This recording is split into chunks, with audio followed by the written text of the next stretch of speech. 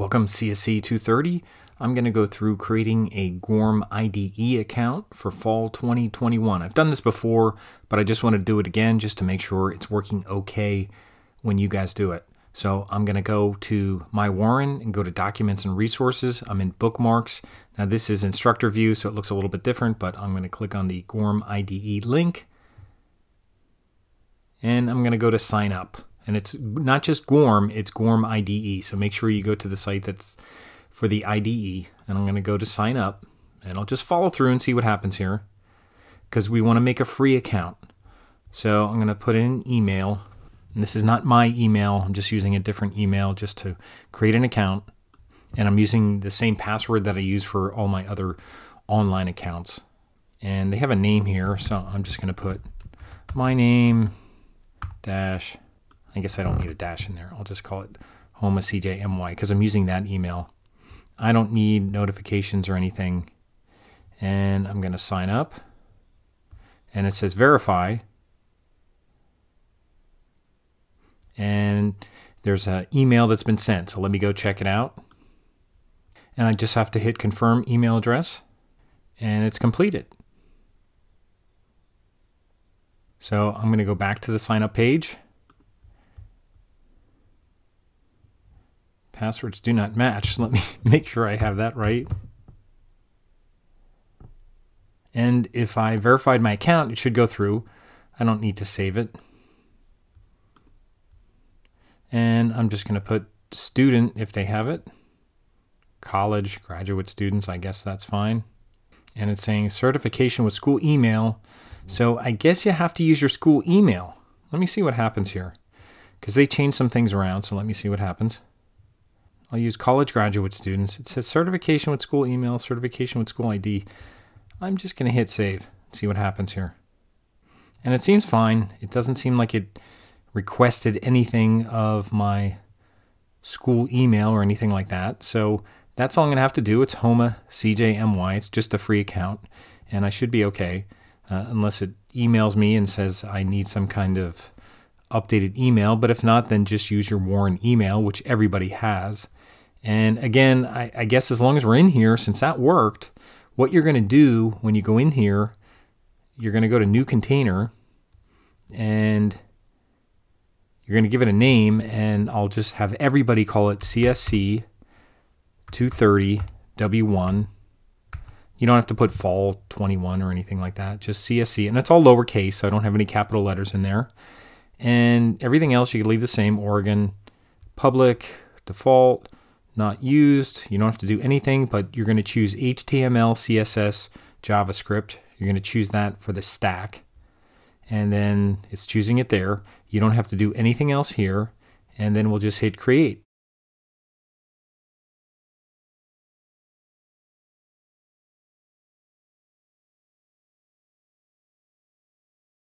and you have a choice to go to console or run container. If you run container, it starts it. I'll just go to console because I'll just go back here now. And then you could just run it from here. So I'll just run it from here and just make sure it says HTML, CSS, JS.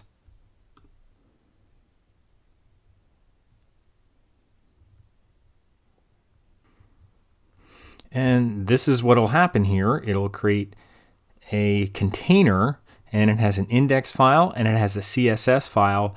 Now, before you do anything else, let's let's set this up so we have the proper preferences.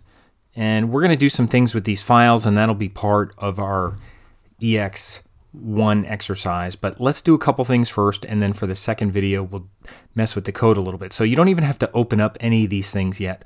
What I do want you to do is two things. One, go down here to preferences it's a little gear down here. Go down here and you're going to go to editor and you're going to go to mode. And mine is already here, but if it says default or if it says anything else, change it to Emmet because we want to be able to use Emmet. That's going to help us use shortcuts to to create HTML tags a lot easier. We could just type P and hit tab and it'll make opening closing P tags. So make sure you choose Emmet for mode. They have theme for Emmet, but just use mode for Emmet. That's the important thing here. And I think that's all you have to do. And you could just do apply and close. That's one thing you have to do. The next thing you have to do is go to Project, Running URL, and Port. Now they have something down here and it's kind of a default name. Just delete this. It has CSCW and a bunch of things down here. Just hit that red trash can and delete it and hit yes. And a couple things to point out here. It says default port of HTML CSS JS stack is 9090. That means it's going to run a default server if you put in 9090. So go in here and put in 9090. Don't put anything else but 9090. And then your URL is going to be whatever you're going to use. So it could be your username, it could be anything else. So I'm just going to go in here and put Homa CJMY because that was my username. So I'm just going to use that as my URL. So that's going to be my new URL. And before you do anything else, make sure you go down here and check show preview button on the toolbar because then you'll be able to preview your code in a new tab with the server running. So make sure you check this and then just hit register. And there it is down there, so it's good. And then just hit OK. And for the next video, what I'll go through is doing some things with index.html and then showing you how to share it. And by the way, just a little a little uh, preview here of sharing it. They have a share this project here, and you're going to share by link. So what you're going to do is you're going to copy this link and put it in the comment. I'm going to do that in the next video because I don't have the assignment set up yet. So once I have the assignment set up, you're going to copy this link and you're going to send it to me through comments through coursework in my Warren. So that's what you're going to do next. But even if you stop here, you're fine. If you go back here, you could go back to your project where you have those files, and we'll look at them in the next video. And when you want to close your container, this isn't logging out of Goorm, you could just close your container. Just go here and say close container.